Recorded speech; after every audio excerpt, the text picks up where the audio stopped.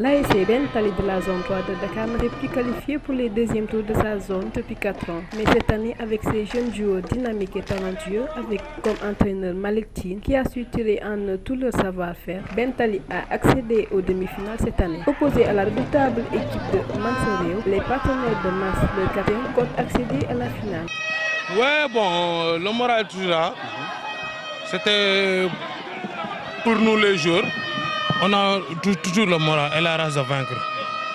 Parce que peut-être il y avait des problèmes entre la zone et nos dirigeants. Donc vous savez qu'en ce moment-là, euh, notre président est suspendu et notre vice-président jusqu'à comparaison. Notre secrétaire général, bon, aussi suspendu pour deux ans. On nous a fait une amende de 200 000 francs. Notre part de on ne l'a pas encore touché.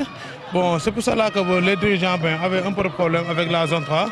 C'est pour cela que nous, eux, ils ont refusé d'aller rejouer le match. Mais je pense que nous, les joueurs, on a réagi. Euh, on a dit que le problème, c'est nous, les joueurs, c'est nous qui devons le régler dans le terrain.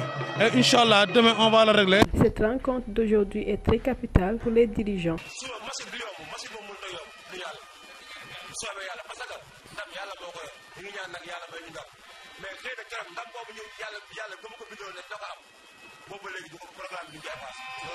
On rappelle que Ben a écopé des sanctions après les problèmes rencontrés lors de leur premier match. Le coach Malik Tine a su motiver ses joueurs pour cette rencontre décisive. Bon, si, si, vous voyez lors de mon, de mon, de mon discours tout de suite, j'avais dit aux joueurs d'être sereins, d'être euh, attentifs.